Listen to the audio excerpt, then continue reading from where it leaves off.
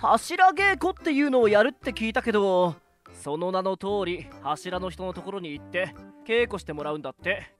どうして嫌なんだ？柱の人たちに稽古をつけてもらえるなんて光栄じゃないか。絶対やばいって！だって岩柱って人は強そうでやばいし風柱って人なんて性格も悪そうだよ！俺を呼んだか？引いてた品津川さん、お久しぶりです。最近俺の出番がなかったからよ。刀鍛冶の里編では俺たちの出番はなかったからな。その前の遊郭編でも出てなかっただろうが。視聴者のみんなに忘れられてないか心配だぜ。大丈夫です。品津川さんは禰豆子ちゃん刺した悪い人ってことでインパクトありましたからね。喧嘩売ってんのか？あガッツマごめんなさい！品津川はいいよな俺なんて口数も少ないし目立たないからきっと俺のことなんて誰も覚えていない。それはないですよ富岡さん。校長いつの間にいたんだ。少し前からいました。富岡さんは喋らなくてもかなり目立ってますからね。そんなわけないだろ確かに富岡さんが鮭大根を食べてムフッと笑った時に全国のお茶の間がどよめいたらしいですからねあの義勇さん、可愛かったですよね。可愛いってなんだ炭治郎。口数少ないって言ってますけど、1話で俺と初めて出会った時の義勇さん、めちゃくちゃセリフありましたよね。そういえばそうでした。なぜ校長が知っている？炭治郎くんに聞いたんです。生殺与奪の剣を他人に握らせるなってセリフを。やめろ！恥ずかしい。こんにちは。皆さんお揃いね甘露寺さん、こんにちは。今度柱稽古ではお世話になります。よろしくお願いします。こちらこそよろしくね。炭治郎くんが来てくれるのを楽しみに待ってるわ。あそうそう。ひそひそひそ。ちょっと！何何？炭治郎だけずるいよ。俺も甘露寺さんにひそひそされたい。ジェイツくんも一緒に来ていいわよあまた後でね。言っちゃった。何何？甘露寺さんは炭治郎に何て言ってたの？えっと、あの、その、今夜、秘密の稽古をするって。あー！秘密の稽古ってそのあんなことやこんなことや。そんなわけないだろ、善逸。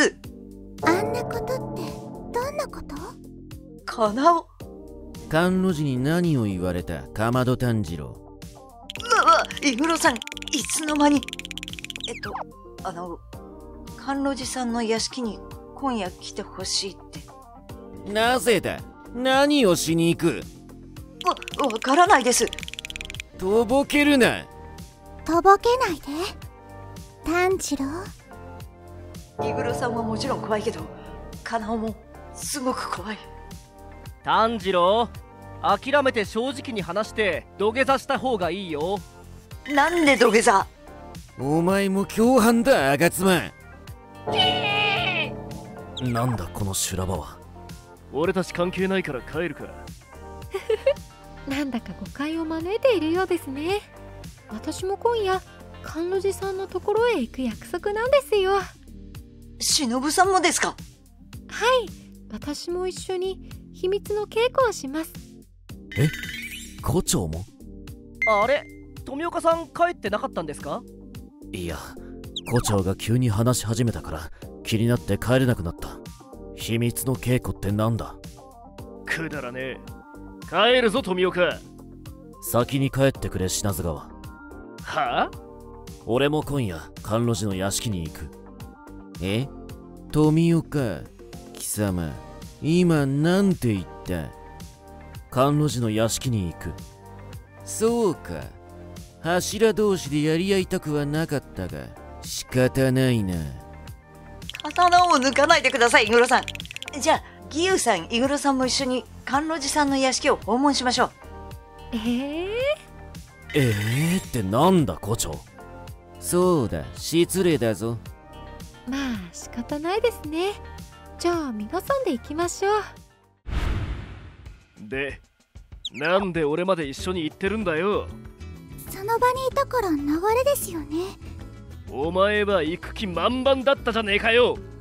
炭治郎が心配だから私も行きます。絶対に絶対に一緒に行きます。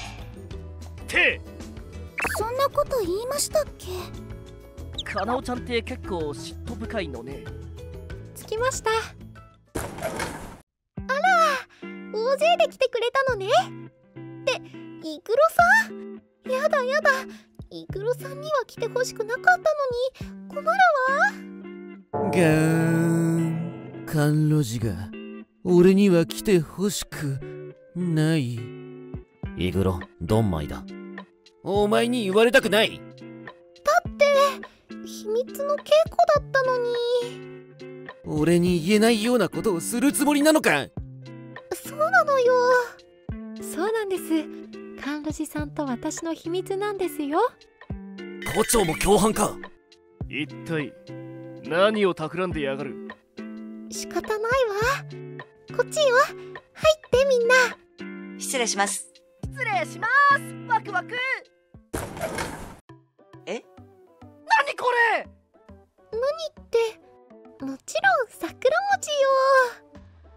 すごくたくさんありますね。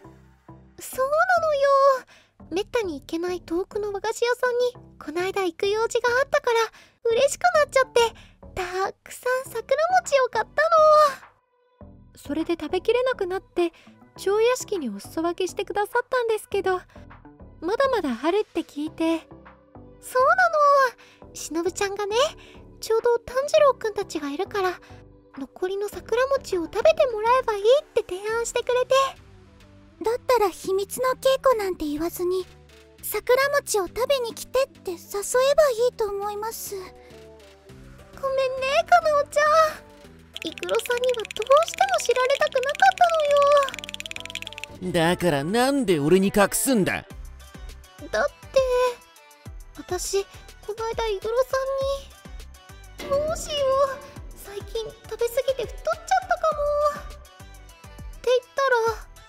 俺は甘露寺が太っても可愛いと思う。それって私が太ったって認めてるってことだから。そそんなつもりはない。私また桜餅買っちゃったってイグロさんに知られるの恥ずかしくて。誤解だ。俺は甘露寺が太ったなんて思ってない。だってイグロさんに嫌われたくないから嫌うわけがないだろう。俺はどんな甘露寺でも好きだ。イグロさ甘露寺。えー、っと今度こそ帰るか。そうだな。待ってみんな。この桜餅すっごく美味しいんだから。みんなで食べましょう。そしてダイエットのために食べた後は稽古よそれから皆さんで桜餅をたくさん食べて稽古をしました。皆さんは好きな食べ物をたくさん買ったことはありますか？コメント欄に書いてくれたら嬉しいです。またお会いしましょう。